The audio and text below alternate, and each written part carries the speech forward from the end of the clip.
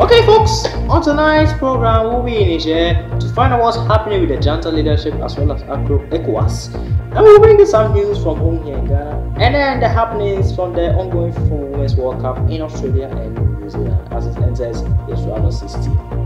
Join us on YouTube for the EBC News at 10.